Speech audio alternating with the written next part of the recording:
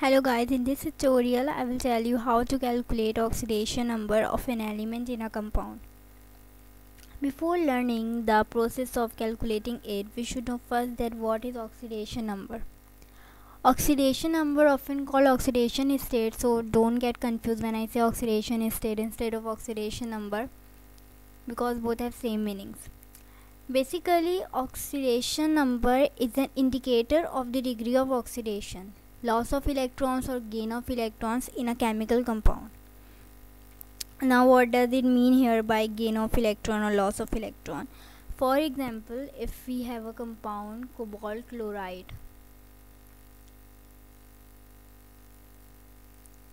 Here chloride has minus 3 oxidation state and cobalt has plus 3 oxidation state.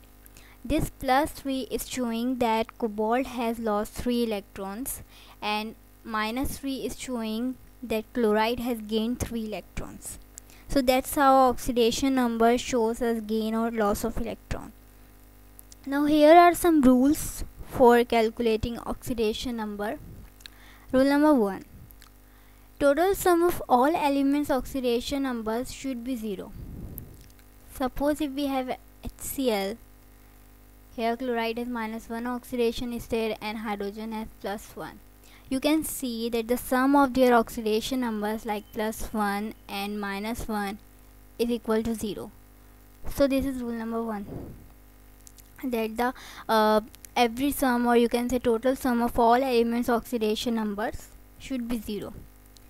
If you see another example cobalt chloride here chloride has minus 3 and cobalt has plus 3 oxidation numbers and if you take their sum it would also be 0 this is rule number 1 rule number 2 oxidation number of an element in its free state is 0 in this like suppose if we have only aluminum and it is not combined with any other element so its oxidation number would be 0 same as for iron. If it is in solid and uncombined state its oxidation state will be 0 etc rule number 3 oxidation number of an alkali metal is plus 1 and alkaline earth metal is plus 2 it's very simple. Alkali metals are group 1 in family like uh, sodium potassium etc so sodium and potassium all have um, plus 1 oxidation number and alkaline earth metals are calcium magnesium. All elements belongs to group 2a family. In periodic table they are alkaline earth metal and they always have plus 2 oxidation number. Rule number 4 is uh, oxidation number of oxygen is usually minus 2 but if oxygen is bonded with fluorine. So its oxidation number will be plus 1 and in peroxide case will be minus 1 if you see example in O2F2 here oxygen is bonded with fluorine. So its oxidation number will be plus 1 here. But here two oxygens are present present. So 2 multiplied by plus 1 would be plus 2 so here oxygen has plus 2 oxidation number. And same as uh, fluorine is a halogen and uh, halogens have uh, usually halogens have minus 1 oxidation number. And here two halogens are present so 2 multiplied by minus 1 would be minus 2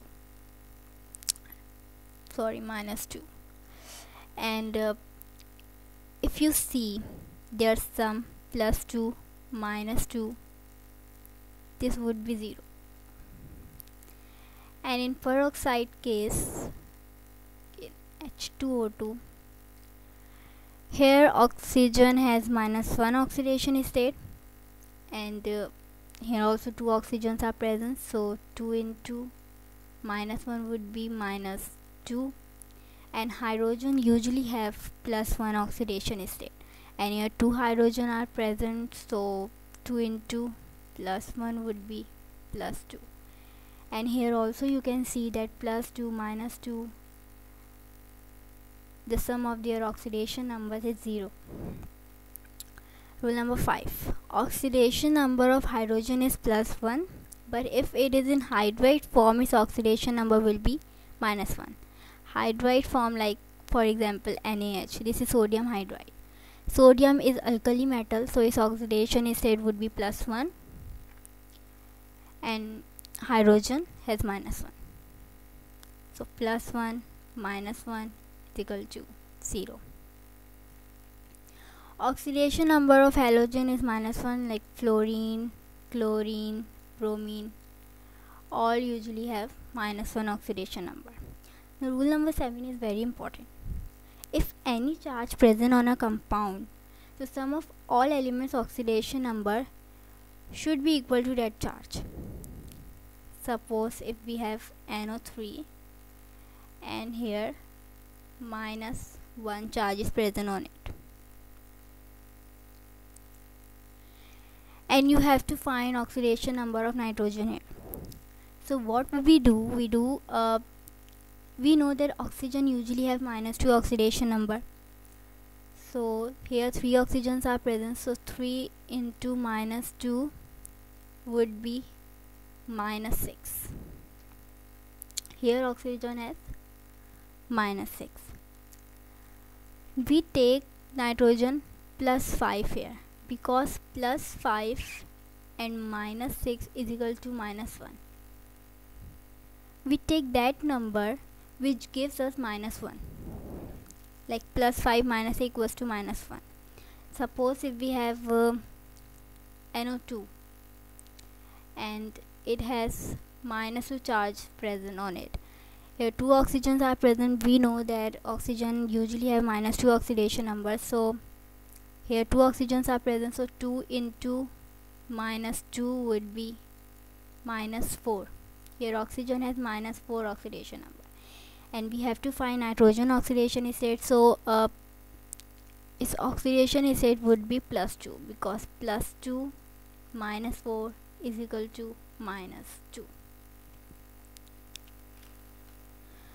so that's how we calculate oxidation number of any compound in an element. Thank you for watching